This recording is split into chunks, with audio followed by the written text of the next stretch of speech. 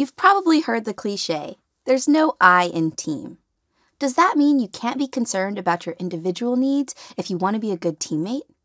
Of course not. It just means that you should try to prioritize the needs and goals of the team over your own individual needs and goals. When you're working on a team, it's easy to feel as though your preferences must take a back seat. The reality is, there will likely be times when your personal needs don't align well with the needs of the team. This can be about small details, like when or where the team meets, or bigger issues, like the approach your team takes on a project. When you make sacrifices and put your teammates before yourself, you build trust within your team. People are often willing to accommodate you, especially if you've accommodated them in the past. There may be times when you'll individually benefit from the team's work. To foster trust and open communication, it's a good idea to disclose that up front. Building trust within your team takes time and consistent effort. Remember to put your team's needs before your own. By prioritizing what's in the best interest of the team, you not only set a good example for the rest of your teammates, you also signal your commitment to the greater good rather than personal gain. This trust building behavior will make your team function optimally, and in the end, will make you stand out as an ideal teammate. If you had to choose between a performer who was absolutely stellar but inconsistent, or a performer who was strong, consistent, and reliable, which would you choose? When it comes to teamwork, there's no question. Reliability is crucial. Knowing you can rely on a teammate is critical for establishing and maintaining trust within a team. The progress of a team's effort can easily get derailed when one person doesn't do their part. To demonstrate you're a reliable teammate, you should keep your commitments, deliver results, and consistently communicate key status updates. Let's start with keeping your commitments. Your word is your bond. Whenever you can, make sure you're consistently doing the things you say you'll do, even when you don't think people are paying attention. You'd be surprised what people notice but don't comment about. If you make promises that you don't keep, you'll quickly get the reputation for being a teammate that can't be relied on. So, if you agree to a standing weekly meeting at 7 a.m., make sure you're ready to go at 7 on those mornings.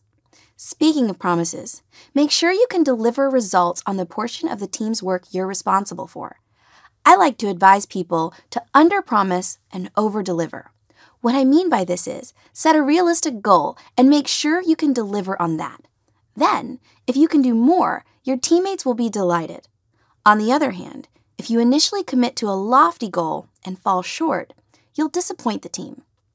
Of course, life happens. You can't be expected to attend 100% of the functions, meetings, or engagements that you may be committed to, which is why it's important to communicate key status updates.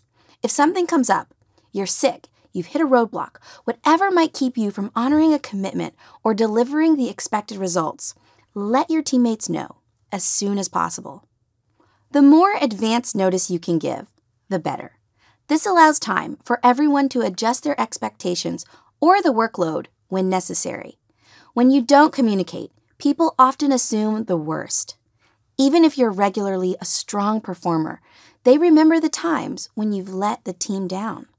Which is why it's critical to keep your team informed if or when you think you can't keep your commitments or deliver the expected outcome. Now, people are much more forgiving if you don't communicate positive news. In fact, they often don't mind at all. For example, if you're 20% under the expected budget, that's news you can and should share, but most likely won't upset anyone if you don't mention it right away.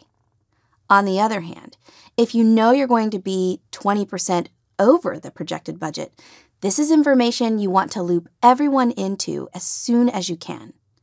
You may be tempted to keep bad news to yourself with the hope that you can resolve the issue before anyone notices it was even a problem. High performing teams need reliable and consistent performers. You'll build your reputation as an effective teammate if you remember to keep your commitments, deliver results, and keep your teammates in the loop when things change by communicating key status updates.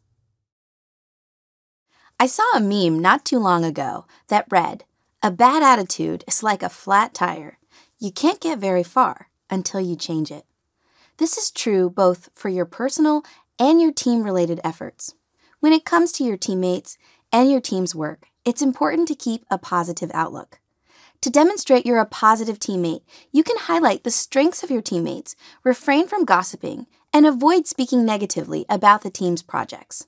Let's start with the first area highlighting the strengths of your teammates as they make contributions toward accomplishing your team's goals. When you note the efforts and point out their strengths, you make your teammates feel appreciated. So give credit where credit is due. You can do this when you talk about them to others, and you can also compliment them directly. Who doesn't like to be praised? By saying nice things about your teammates, you set a positive tone for your team as a whole. When you don't have something positive to say about a teammate, it's best to remain quiet. As tempting as it might be, try to refrain from gossip about your teammates.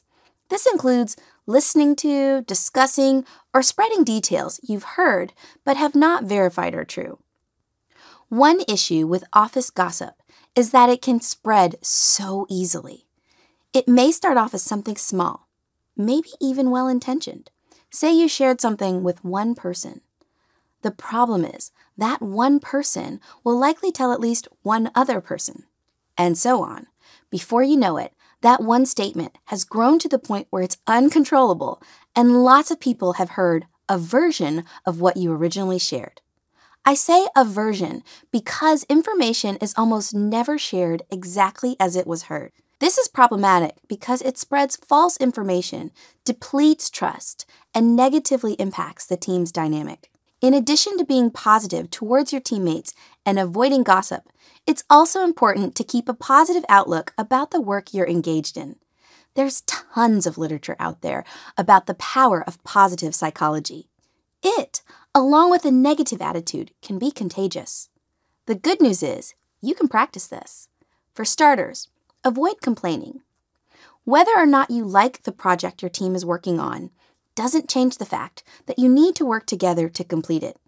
It's much easier to work with someone who's making the choice to be positive about the work. Another thing you can do is train yourself to look for the positive in every situation. We see what we're looking for. To be a good teammate, choose positivity. It's much more likely your outlook on the work will be positive if you're looking for the good in it. Negative attitudes bring down the team's performance and morale positivity can be equally contagious and improve outcomes for the team. Remember, a strong teammate is supportive and has a positive attitude towards teammates and the team's work overall. It seems really obvious that in building healthy working relationships, we should be respectful. Unfortunately, that's often not the case. A good teammate is polite and respectful to his or her colleagues, respectful of their time, boundaries, and their ideas. Let's start with being respectful of time. Today's work culture is so busy. Often, it seems that time is our most valuable commodity. This is why people quickly get frustrated when they feel as though their time is being wasted. Keep your working relationships on solid footing by showing you respect boundaries for your teammates, recognizing that each person will likely have different ones. What do I mean by boundaries? Well, Quite literally, a boundary is a line that shouldn't be crossed. If a teammate shares a boundary with you, be respectful of it. By violating that line, you send a clear message of disrespect to the person who shared it with you, which can completely erode trust. You aren't going to agree with your teammates on everything, whether it's personal, like politics or religion, or on a strategic approach you take with a client. It's unlikely everyone on your team will see things the same way. And that's okay. In fact, some healthy disagreement on a topic can often force teams to consider multiple perspectives and develop a stronger outcome. It's important, however, to make sure you're respectful of ideas, whether or not you agree with them. Try not to belittle or diminish viewpoints you disagree with. You can argue, just don't alienate your teammates in the process. Remember to separate the person from their ideas. You can have positive relationships with people you disagree with. if you're willing to prevent allowing a difference of opinion to get in the way of an otherwise healthy working relationship. You should expect conflict on your teams. It's perfectly fine to disagree with your teammates. You just don't want to be disagreeable. Instead, effective teammates are polite and respectful of their teammates, particularly of their time, boundaries, and ideas. By being respectful of your teammates, they'll remember how you made them feel for all the right reasons. Given the pace of business today, if your team is usually focused on responding to everything that comes your way, you'll quickly get bogged down in the work of putting out fires rather than preventing them. An ideal teammate is proactive. So, how does one model proactivity? What are the behaviors that signal this quality? A proactive teammate thinks strategically about the team's role in the organization as a whole by taking a step back and looking at the bigger picture, you can help your team strategically consider the work you're doing and how it fits into the broader organization. This may require that you take some time to learn about the other functional areas that are impacted by your team's work. How does your team's efforts impact other people in your company? What about your customers? Knowing how your team's work fits into the big picture will help you anticipate the needs of your organization. Thinking ahead is a very important asset an effective teammate brings to the table. When you're thinking ahead, you can often anticipate potential challenges that the team can address before they become bigger problems. When you plan ahead, you lighten the workload for everyone on your team. If you've thought through the, say, five steps of your team's project, you have a perspective on the work that others won't have considered. You can suggest combining steps 3 and 5, which won't have occurred to others on your team because they're reacting to each step in sequence. This saves time and redundancies with your team's work. Even when you're thinking about your team's work in the broader context of your organization, anticipating the needs of your stakeholders, and planning ahead, inevitably, things won't always go as you expect. And teams can quickly get derailed by setbacks and or unanticipated changes. When that happens, an ideal teammate will get the team back on track by refocusing on the goals or deliverables that matter most. It's easy to get bogged down in the details of projects, and if you're not careful, rebounding from these little excursions can add a lot of time to the overall journey. High performing teams can't afford to always be reactive. Instead, Thinking proactively about your team's objectives will make you an invaluable asset to the group. You can do this by keeping the big picture in mind, anticipating roadblocks or challenges, planning ahead, and pushing the team's agenda along when the effort stalls. Exemplary teams understand that we accomplish more together and approach teamwork with a collaborative spirit. It's easy to show you can be a good team player when things are going your way. An ideal team player is collaborative, even when things don't go as he or she would like. You can demonstrate a collaborative spirit by encouraging participation, being cooperative, and supporting team decisions. Teams accomplish more when everyone participates. An ideal teammate encourages participation of others and also actively participates in team meetings and getting the work finished. You want to openly share your point of view and be open to hearing the ideas from others. In addition to sharing your ideas, it's important to be cooperative. There will be times when the team moves in a direction that you like, and then there will be times when you don't. Being cooperative means you adjust. Teamwork requires you to both give and take. Make sure you're willing to defer to the team and continue giving your best effort. Finally, support the decisions your team makes even if you disagree. Everyone on your team isn't going to agree on everything. Imagine how stifling your project would be if some of your teammates intentionally worked against the team's agreed upon agenda. That is a recipe for a poor outcome. A great team player enthusiastically approaches the team's work, regardless of whether he or she agrees completely with the team's game plan. You demonstrate maturity, professionalism, and a collaborative spirit when you participate, cooperate, and stand by your team's decisions. In the workplace, we respect, value, and appreciate professionalism. And Great teammates routinely demonstrate it. What do I mean by that? Well, professionalism is tied to your personal brand or your professional reputation. It's the impression you make and how your colleagues would describe you to others. Your professionalism can be summarized based on whether or not you are competent, complete your work, and how you conduct yourself. An easy way to remember this is the three C's. Let's start with competence. What skills or experiences are you bringing to the team? Your academic and professional background are the foundation of your perceived competence. From there, your ability to complete your tasks and do the job well will adjust how your teammates see you. In addition to the quality of the work you produce, you can build your competence by investing in your own professional development. In today's quickly changing world, you need to continuously develop your skills. Make sure you're paying attention to the relevant new technology, software, and sharpening your soft skills. Investing in your own learning is likely to return dividends. You can also show off your competence by making sure you're prepared. You may not always have a chance to review materials or the agenda prior to team meetings, but the more you can, the better. Taking a little extra time to make sure you're ready to go will help you to contribute in team meetings. During these meetings, you'll want to remain actively engaged. Speak up and share your ideas and concerns. This doesn't mean you should be speaking the whole time.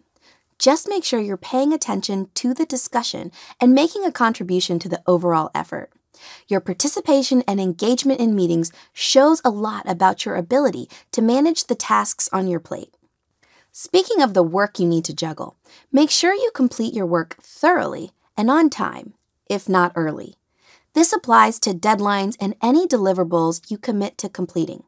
Your personal brand or your professional reputation is tied to your ability to get the job done well and on time. If you're routinely late for meetings or missing deadlines, you'll quickly build a reputation as someone the team can't rely on. Finally, when it comes to how you conduct yourself, there are a few things to keep in mind. Professional colleagues speak and dress in ways that represent the team in a positive light. Your conduct is seen as a reflection on your team. Carry yourself in ways that will make your team proud to be associated with you. When it comes to how you speak, limit your use of profanity and offensive language, even when joking. You'll also want to make sure you're dressed appropriately for the expectations in your work environment. A professional teammate looks the part. Make sure you're dressed appropriately for the occasion. Demonstrating professionalism on a regular basis will help make you an invaluable teammate. You can do this by making a habit of a few key behaviors. Just remember the three C's competence, completion of work, and conduct. Chances are the project your team is working on won't be your last. At the end of the day, the outcome your team delivers is important, but the process for how you go about getting these results is also critical. Exemplary teammates approach each team project with the long term in mind. They focus on how the team gets the work done, not just the team's outcomes. For the team, this is important because it affects your ongoing work together. For you personally, it's tied to your professional reputation.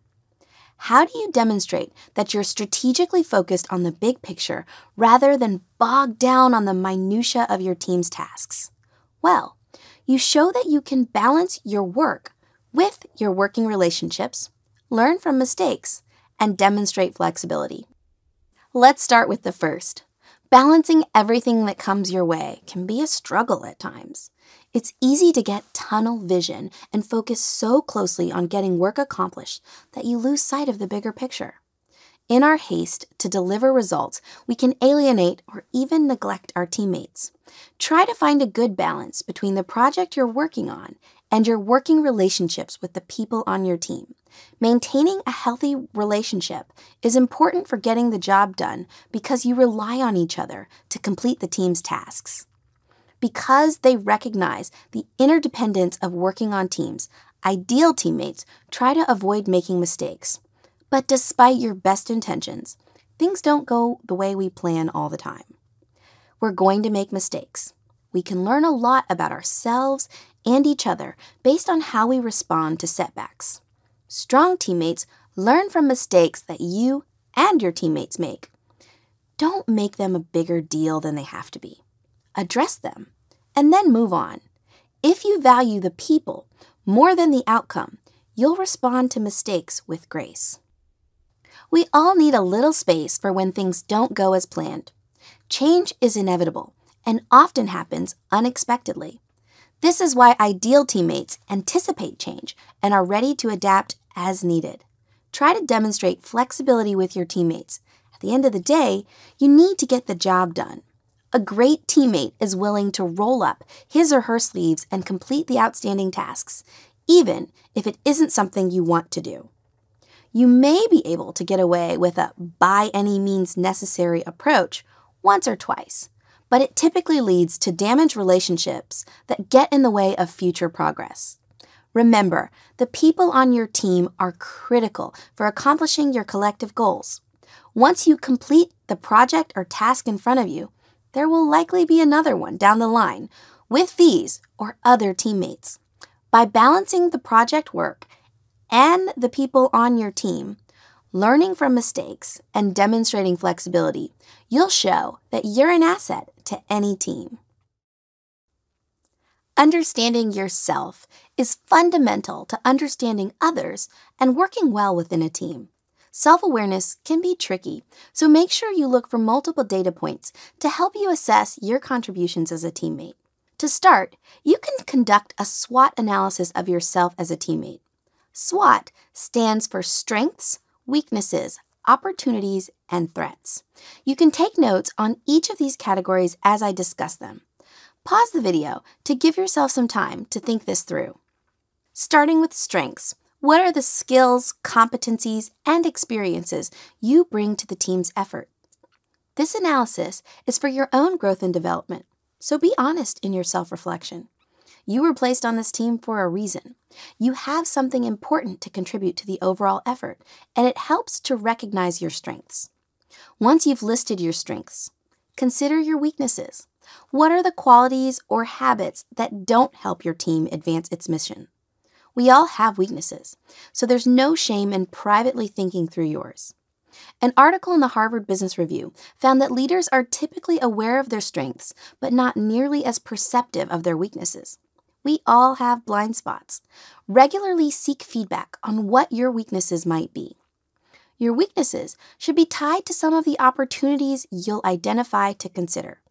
Think about your personal OFIs or opportunities for improvement. What do you need to learn or what skills can you develop to be a stronger contributor to your team? Finally, what threats exist for you as a teammate? When using a SWOT analysis for an individual contributor on a team, I think of threats as anything that can get in the way of you performing at an optimal level. An example might be not having as much time to work on a team assignment as you'd like. If you've been critical in conducting an individual SWOT analysis of yourself as a teammate, you can see what you're contributing to your team's effort. Are you happy with the results? If not, create an action plan for what you'll do to address your personal OFIs. As you develop in these areas, expect that you may make some mistakes along the way. Learn from them and then move on.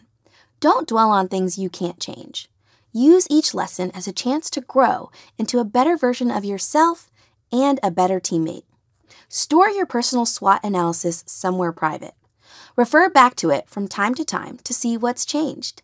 If you have a trusted mentor or advisor, consider sharing your thoughts and get some additional feedback that you can include. Effective teammates are strategically self aware. By being perceptive about your own strengths and weaknesses, you'll have more clarity about what you bring to your team.